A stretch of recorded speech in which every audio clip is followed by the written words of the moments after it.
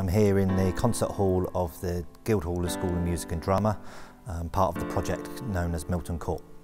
We've got a 36 storey residential tower that lands directly over the drama theatre. So there's very complex transfer structure required within the apartments to actually bridge across um, to, to the sides of the, of the drama theatre. It's located in the heart of the City of London, about five minutes from Liverpool Street and Moorgate Station and right next to Barbican Centre.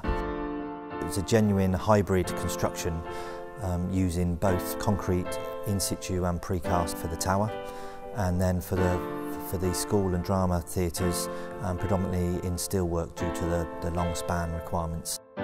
One of the key features for the, for the school spaces was the box-in-box -box construction to achieve the acoustic performance.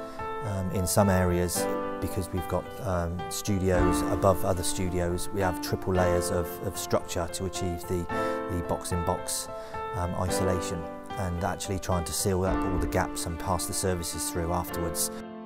The vision was to provide luxury living space within five minutes of the City of London and also to provide a world-class um, teaching facility.